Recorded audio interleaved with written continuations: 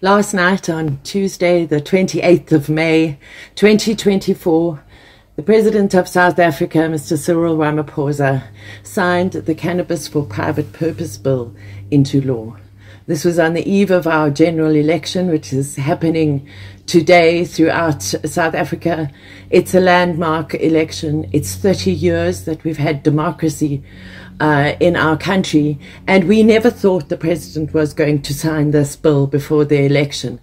And we'd just like to thank those people, you know who you are, who are working with the ear of the president to make sure that this bill didn't just lie on somebody's desk after the election, only to be eaten by termites. So it was with great relief that I heard the news at about 10 to 9 last night. I think the president must have signed the bill somewhere around 8 p.m. Um, and it came as such a relief uh, everybody who's in the cannabis communities in South Africa knows that there's been much divisive action when it comes to signing this bill. And there's so many things that one can speak about. I mean, the bill is a lengthy document. Just excuse my dogs. the bill is a lengthy document and um, I can't here now off the cuff just go through every single one of them, but there certainly are things that are whizzing around all of the groups on social media. Uh, there are things that are being discussed here, there, and everywhere. And I think that the most important thing to remember now, this morning, as we let the news sink in, is please make sure that you've got the correct version of the bill. We will publish a blog today on our Fields of Green for All website publishing the correct version of the bill. You should download it, print it out, go through it with a fine tooth comb so that you know you're not misquoting things. Because over the last five, nearly six years since the Constitutional Court judgment granting us the right to use, possess, and cultivate cannabis within private spaces in South Africa, there's been numerous iterations of this bill. Um, with with highly varying content. So I just implore everybody um, in South Africa and around the world to please make sure that you've got the correct version.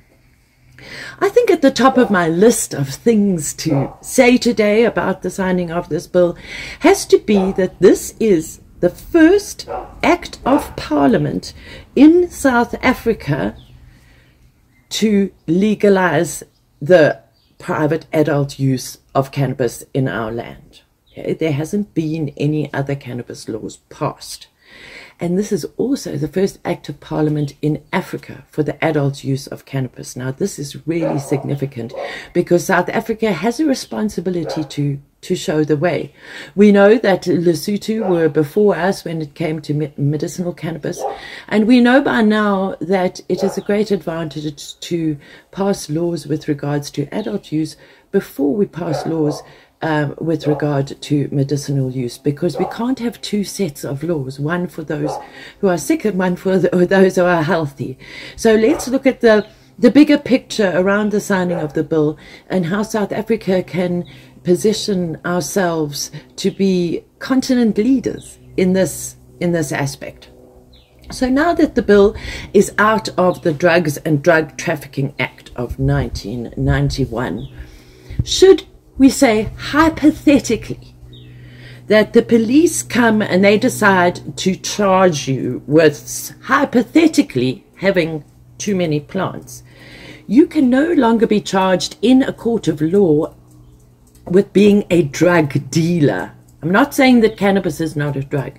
I am saying that taking it out of the Drugs and Drug Trafficking Act takes uh, cannabis out from under the umbrella of all of the other substances within that Drugs Act. And that is super, super important for us because it means that cannabis for private use has been descheduled. We can't say now that a cannabis plant can be regulated underneath the Medicines Act. Yes, cannabis medicine that makes a claim and says this cannabis medicine is going to help your backache. Yes, that needs to be regulated by SAHPRA because it's a medicine making a claim. Um, but our humble cannabis plant as a medicine can no longer be regulated uh, by SAHPRA. And that is really important in terms of descheduling from the Medicines Act. Now, something that people on the groups all over social media have been particularly worried about is the penalties. And yes, we do see the bill as being particularly over restrictive when it comes to threatening us with 10 years in jail. Well, I'd just like to remind everybody that, um, nearly 15 years ago now, uh, Jules and I were facing seven to 10 years in jail for dealing in Dagga, which was an undesired dependence producing substance, which it no longer is in terms of the law. Just imagine the scenario of the people who are writing this bill. They don't necessarily know all of the intricacies and the workings of this sunrise sector in South Africa. And there's never been a law signed in by the president ever that has not been amended by the regulations. So we all know is we don't have any regulations yet. What I know for sure, as me personally, is that I don't have a crystal ball. People out there are saying, yes, and they're going to lock us up for 10 years, well, you know, blah, blah, blah. My problem with this is, is that I don't have a crystal ball. I know that there are moves afoot in South Africa to write the regulations. This process has already begun, and that is all that I can say on this public platform. But the regulations are going to happen, and the regulations can't happen without public consultation.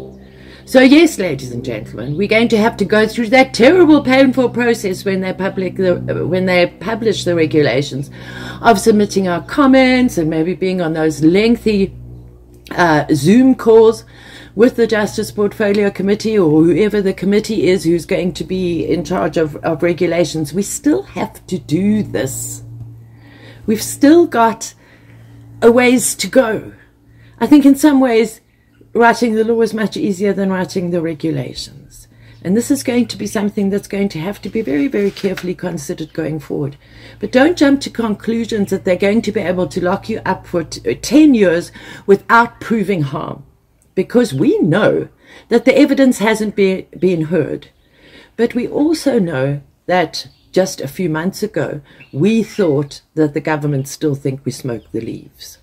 But in this very bill that has just been signed into law, it specifies that this law only applies to the fruiting and flowering tops of the cannabis plant, not the other parts of the cannabis plant. It's the fruiting and flowering tops.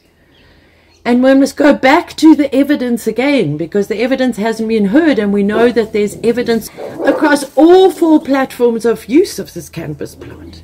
And we know that certain IKS and Rastafari communities are very, very concerned. But if you go and read the bill, remember to download the correct version from our website, um, you will see that there's a large section given to IKS and given to our traditional cultural and religious use of this plant. Plus, the Fields of Green for All Cannabis Embassy team have just been in Geneva for a grueling two weeks discussing cannabis and our genetic resources and traditional knowledge as it applies to the new treaty that's just been signed last Friday in Geneva, to which South Africa as a country has signed onto that treaty, uh, which has to do with intellectual property. And we also know that in the government steering committee that was uh, appointed following the Phakisa last year, there is 100% representation from the IKS, Indigenous and uh, uh, Rastafari groups. So don't think that the IKS and the Rastafari are not represented in this process going forward. So I would really like to just dispel all the information and just revel a little bit in what an important step this is for South Africa as being the first adult cannabis use law in Africa. It's groundbreaking, it really is. So, if we consider all of our cannabis uh, uh, communities here in South Africa, one can't sign off without speaking about Dagga private clubs, because Dagga private clubs has this concept has been around in South Africa since 2015, and one must also remember that the, the concept of the Dagga private club is the model it's a model of the Dagga Private Club. The way you run your business is not the model. The way you run your business is your business.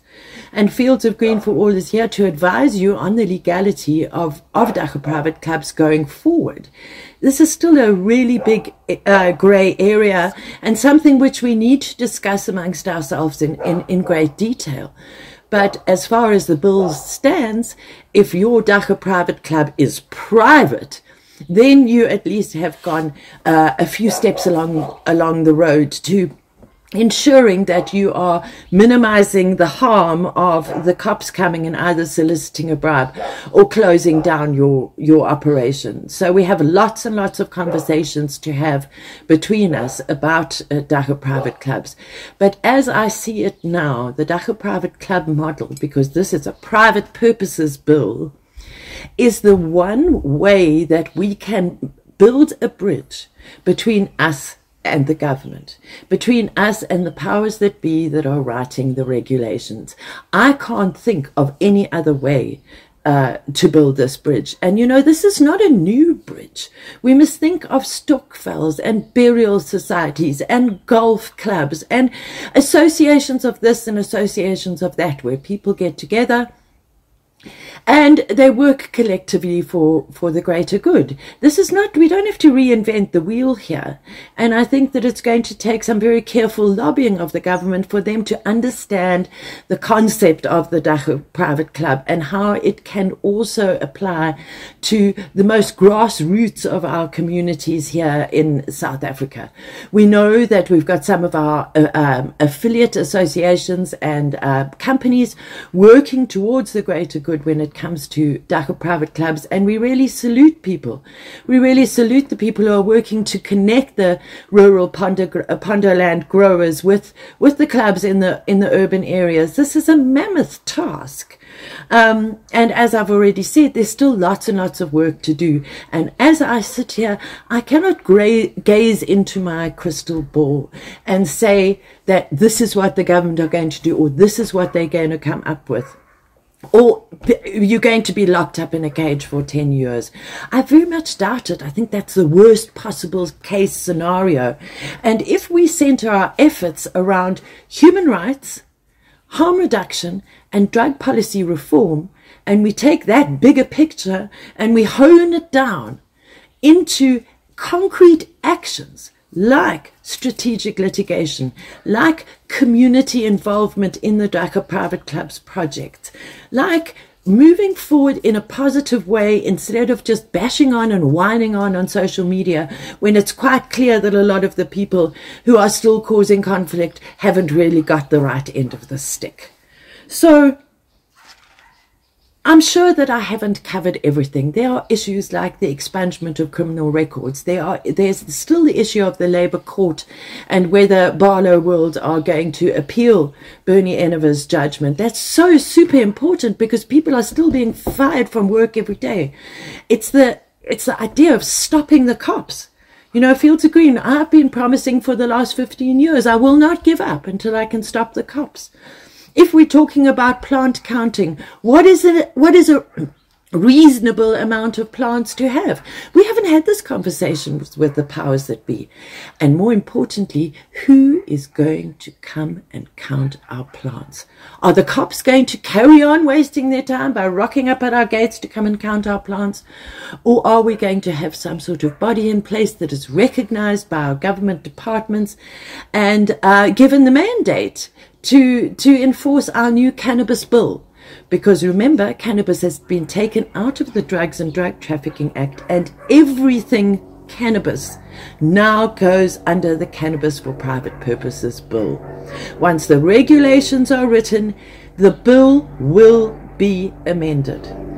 There has been no law ever passed in South Africa that hasn't been amended by regulations. That's how it works. The bill is the blueprint, it's the zero draft of our cannabis uh, sunrise sector. And on this beautiful, on this beautiful autumn day as the aeroplanes fly overhead, um, and the dogs bark and the sun is shining and South Africans are all going to the polls, let us rest assured that we've taken a really, really big step on this difficult road to freedom for our favorite plant. And I just want to give a shout out to my Fields of Green for All team, other activists and spokesmen, spokespeople of organizations and companies and interested parties and stakeholders all over South Africa who have given us such tremendous support over the last few months as we have been um, somewhat worn down by the opposition to this bill.